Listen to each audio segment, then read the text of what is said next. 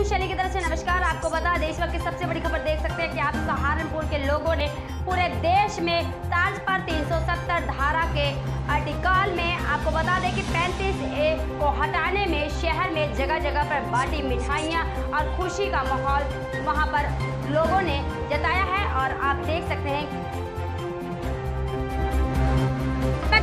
रंजना, नए पुराने कार्यकर्ताओं ने आज जम्मू कश्मीर में आपको बता दें, धारा तीन सौ सत्तर हटाए जाने को कहा है।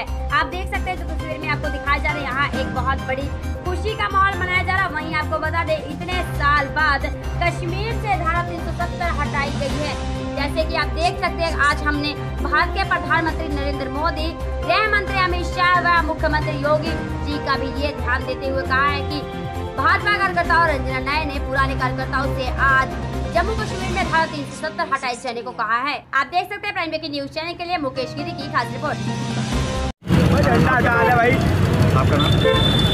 नमस्कार, मेरा नाम है रंजना ने मैं भारतीय जनता पार्टी सांस्कृतिक प्रकोष्ठ की महानगर संयोजक और वैष्णव नृत्यालय की डायरेक्टर आज गर्व के साथ महसूस कर सकती हूँ कि हमारे भारतवर्ष का ताज कहे जाने वाला कश्मीर, आज हमारे पिता तुल्य आदरणीय नरेंद्र मोदी जी की वजह से वहाँ पर धारा 370 और पैंतीस से ख़त्म होने से जो वसुधैव कुटुम्बकम की भावना आज पूरे विश्व में जागृत हुई है, आज हम गर्व के साथ कह सकते हैं, हर हर मोदी, घर घर मोदी और हमें प्राउड है। भारत माता की।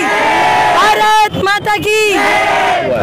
अगर भारत को शांति चाहिए कश्मीर की वैली में तो दिल्ली उत्तर देना सीखे इजराइल की शैली में। आज पूरे भारत में जश्न का माहौल है। साठ सत्तर साल की जो गुलामी कश्मीर के अंदर जी जा रही थी, हमारे सैनिकों पे बेमतलब हमले किए जा रहे थे, निर्दोष नागरिकों की हत्या की जा रही थी पाकिस्तान के इशारे पर। आज सरदार पटेल के रूप में अमित शाह जी आ चुके हैं और नरेंद्र मोदी जी की जोड़ी ने कमाल कर दिया है। पूरे भारत के हिंदुस्तानी को खुश कर दिया है। आज पूरे भारत में जश्न है बम विस्फोट हो रहे हैं और धमाके किए जा रहे हैं। जश्न के रूप में पूरा कश्मीर हमारा है। और जो पाकिस्तान के अंदर गुलाम कश्मीर है अब उसको लेने की तैयारी है।